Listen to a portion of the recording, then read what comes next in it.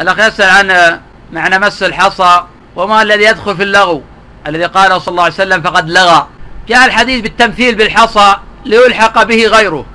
فالكلام بلا حاجة من اللغو والاشتغال بالمسبحة من اللغو والحديث مع من بجانبك من اللغو والعبث بالحصى من اللغو وأذية من على يمينك أو على شمالك من اللغو وضابط اللغو المنهي عنه أن كل شيء يكون في حركة تحول بينك وبين الإنصات للإمام فهذا من اللغو.